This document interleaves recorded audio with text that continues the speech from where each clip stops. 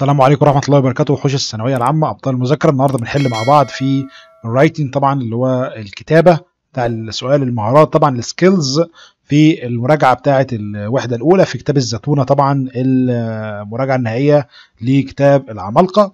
سمي الله ويلا نبدأ مع بعض بس أهم حاجة اضغط like لو سمحت like وفعل زر الجرس عشان يوصلك كل جديد ويلا بينا نبدأ مع بعض. بيقول لك which of the following is structurally uh, correct يعني بيقول لك مين من تحت دولت من الجمل اللي تحت دي بتكون تكوينها صح جدا.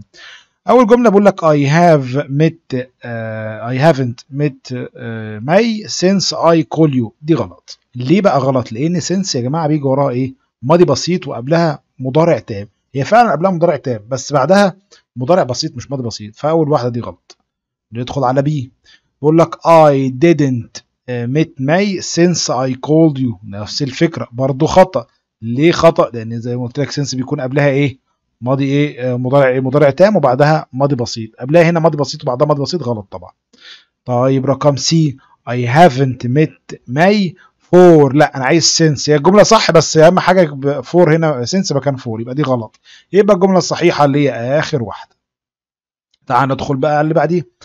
Which of the following sentence إيه مين من تحت من الجمل دي has the correct punctuation مين من تحت دول عنده علامات الترقيم من الأول لآخر من أول الجملة لآخر الجملة؟ صح. أول حاجة بقول لك my daughter loves mobile games. وماي son likes football. يعني بنتي بتحب الألعاب الموبايل وابني بيحب لعبة كرة القدم. طيب دي جملة ودي جملة يا جماعة. دول مش جملتين متصلين ببعض. فأنا المفروض أربط هنا برابط. طبعا طالما شلت الرابط يبقى أنا لو حطيت هنا علامة ترقيم هحط حاجة اسمها ال semicolon اللي هي نقطة وتحتها فاصلة لأن دي جملة وجملتين منفصلتين عن بعض. يبقى أول واحدة دي غلط لأن هو حاطط لي comma. طيب my daughter loves mobile games و my son likes football آه دي صح. رقم B يا جماعة دي صح. رقم B صح. ده أنا علمت على البتاع كلها. رقم B يا جماعة صح. رقم B دي صح. طيب رقم C بيقول لك my daughter loves mobile آه هنا مفيش أصلا كومات أساسا غلط أساسا. طيب رقم D بيقول لك my daughter loves mobile phone آه ده في colon هنا مش semicolon دي نقطتين. لا أنا عايز نقطة وتحتيها فاصله اسمها ال semicolon طيب. رقم يبقى الإجابة رقم B طبعا. رقم ثلاثة بيقول لك what does conclusion include يعني الخاتمة بتحتوي على إيه؟ summarizing تلخيص your major points نقاطك الرئيسية. آه صح فعلا. ملخص الحاجة أو في الخاتمة بكتب تلخيص كل النقط اللي أنا اتكلمت عليها في ال paragraph في الموضوع نفسه أو ال essay نفسه في بكتبها في الآخر في الملخص طبعا. the positive and the negative point الإيجابيات والسلبيات لا ده دي بتكون في الموضوع نفسه. describe the topic بوصف الموضوع لا ده أنا بقول بلخص بقى ده أنا في الآخر بلخص بقى اللي أنا قلته ده في نقط بسيطة كده. the descriptive points برضو غلط أنا بتكلم على summarizing your major points إن أنا بلخص النقاط الرئيسية بتاعتي. طيب. بيقول لك when you write لما بتكتب uh, you can use ممكن تستخدم إيه؟ to introduce عشان تقدم the result نتيجة لشيء ما. هل بتستخدم على الرغم من؟ لا طبعا على الرغم من ما بستخدمش بستخدمها عشان أقدم نتيجة. طب due to due to يا جماعة اللي هي معناها بسبب؟ لا طبعا بسبب كذا لا ده ببين سبب مش ببين نتيجة. طب whilst معناها بينما يعني كذا بينما كذا دي بتبين مثلا سبب؟ لا. sorry النتيجة؟ لا طبعا. آه consequently معناها وبالتالي أو بناء على ذلك فعلا بيجي بعدها بقى النتيجة أو بتقدم النتيجة بتاعتك اللي أنت توصلت ليها في الموضوع. ادخل على رقم خمسة.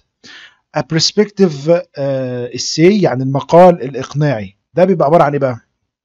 بيوصف أشخاص وأماكن وأشياء وحاجات كده. طبعا مش بيوصف حاجة. ده بيقنعك.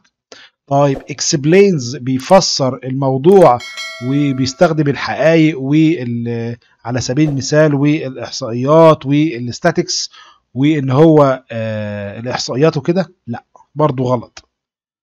أما tries to convince آه بيحاول إن هو يقنع القارئ علشان يقبل الرأي بتاعه رأي الكاتب. فعلا يبقى الإجابة عندي رقم C الإجابة عندي صحيحة يا جماعة رقم C الرقم D بيقول لك tells story about real life بيقول لك عن خبرة عن حياة. لا ده هو بيحاول إن هو يقنعك بفكرته اللي هو عايزها يعني. طيب رقم ستة. When you are writing لما بتكتب you can use ممكن تستخدم إيه علشان تقول السبب بتاع شيء؟ عشان تقول سبب حاجة يبقى تستخدم إيه؟ due to due to معناها يا جماعة بسبب أصلا. إحنا خدناها فوق قلنا فوق due to معناها بسبب. طيب رقم سبعة. بيقول لك which sentence أي جملة تحت is structured correctly. بتكون يعني بنيتها أو بنيتها صحيحة من الأول للآخر. أمير who is half defender. score لا المفروض تبقى scores يا جماعة. لو هي مضارع بسيط يا إما scores لو مضارع بسيط ولو ماضي تبقى scored فطبعا دي غلط. هنا يا جماعة الغلط في score طب اللي بعديه. أمير whose. أمير اللي بيكو بي ملكه يعني ال half defender؟ لا ده أنا بقول عايز who is. أمير who is صح؟ اذا scored فعلا صح آه sorry scored. لا غلط. طبعا قلت لك يا scores يا إما scored بتضاف لها ed. يبقى دي برضو خطأ. يبقى ده فيش عندي غير الأخيرة صح. ندخل على اللي بعديه. رقم 8 when conclude لما بتلخص an essay about cleanness عن النظافة. ممكن تستخدم واحدة من الإيه؟ لو أنت استخدم لو أنت لما بتحب تلخص مقال بتتكلم فيه على النظافة بتستخدم إيه بقى؟ أكيد يا جماعة مش فيرستلي اولا كذا لأ طبعا يعني ما ينفعش طبعا. أنا بتكلم توصم أو عشان ألخص اللي أنا قلته ده وشود إحنا ينبغي نتبع القواعد نتبع قواعد اللي هو النظافة الشخصية والعنايه بالنفس يعني تبقى رقم سي طبعا. تبقى عشان ألخص الكلام ده. طيب رقم تسعة بيقول لك الجملة which are attractive attracts sorry الجملة اللي هي بتجذب ال readers attention انتباه القارئ بتبقى اسمها إيه؟ اسمها ال hook يا جماعة. جملة كده خطافية بتخطف كده القارئ كده واخد بالك؟ اسمها ال hook يا جماعة. طيب رقم 10 بيقول لك which of the following إيه من تحت دول is structurally correct إيه من تحت دول بيكون بنيانه صحيح. بيقول لك while my father بينما بابايا جه. طبعا غلط. while بيجي وراها إيه؟ ماضي مستمر على طول. فدي غلط. طب اللي بعديه؟ while I was watching TV بينما أنا كنت صح كده لحد دلوقتي my father was coming لما أنا كنت عمال أشاهد تلفزيون بابا جه. يعني حدثين ما قطعوش بعض. لا ده الاثنين حدثوا قطعوا بعض. يبقى هنا المفروض يكون ماضي بسيط مش ماضي مستمر. غلط غلط هنا. طب اللي بعديه؟ while I was watching TV my father came. صح. رقم C صح يا جماعة. رقم C صح. رقم D during أثناء مشاهدتي الفيلم بابا جه. لا طبعا غلط يا جماعة. أثناء المشاهدة الفيلم بابا جه. لا طبعا. لأن during بيجي وراها إيه؟ بيجي وراها اسم. بيجي وراه اسم. إنما هنا ده فعل بنضاف له ing فغلط طبعا.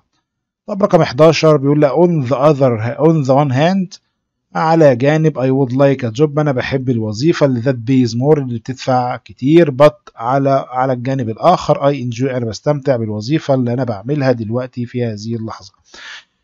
the underline express اللي هي التعبير اللي تحته خط ده اللي هو على الجانب الآخر ده بيبين إيه؟ بيبين التناقض اللي هي comparing two different facts. بيبين اللي هو بيقارن ما بين حقيقتين مختلفتين خالص. اللي هو على على جانب مثلا أنا بحب كذا وعلى الجانب الآخر أنا بحب كذا فهو هنا بيقارن ما بين حاجتين. يعني هو موضح لي بيقول لي من ناحية أنا بحب الشغل اللي بيدفع كتير ومن ناحية أخرى أنا بستمتع بالوظيفة اللي أنا بعملها دلوقتي. طيب ده ال similarity ده يعني نفس between two different facts يعني بيبين نفس الحاجتين ما بين حقيقتين لا طبعا غلط طبعا. دي إضافة؟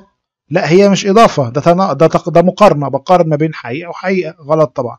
طيب ده decision قرار to leave. ذا current ده قرار إن أنا بيغادر الوظيفة لا. هو مش بيغادر حاجة ده بيقول لك بالعكس أنا بستمتع بالوظيفة الحالية. هو بيقارن ما بين الوظيفة اللي بتدفع كتير لكن هو بيستمتع بالوظيفة الحالية بتاعته. فدي مقارنة. بس يا جماعة ده كان أسئلة ال writing النهارده والفيديو الجاي إن شاء الله هنحل ال traditional sorry ال translation ال traditional إيه؟ ال translation بتاع الترجمة طبعا بتاعه الوحدة الأولى والفيديو اللي بعده إن شاء الله هنحل القطعة دي كلها بعون الله وكل الوحدات هنمشي مع بعض إن شاء الله هنحل كل الكتاب. بس أهم حاجة انشر المحتوى ده وفعل زر الجرس عشان يوصلك كل جديد طبعا واشترك في القناة ولو عندك سؤال أو استفسار سيبه تحت في التعليقات. والسلام عليكم ورحمة الله وبركاته.